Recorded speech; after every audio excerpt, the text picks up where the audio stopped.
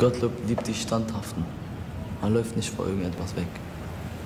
Und mein Vater hat mir gesagt, wenn du einmal irgendjemand, sollte das passieren, dass jemand was wegnehmen will, dann gib es niemals.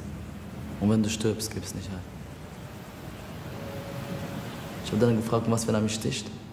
Er hat gesagt, dann lass ihn stechen, aber gib deine Jacke nicht. Was, wenn er schießt? Lass ihn schießen, aber gib deine Jacke nicht.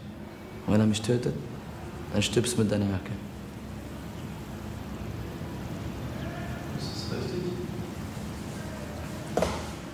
Ich bin in einem Umfeld, wo alle so denken.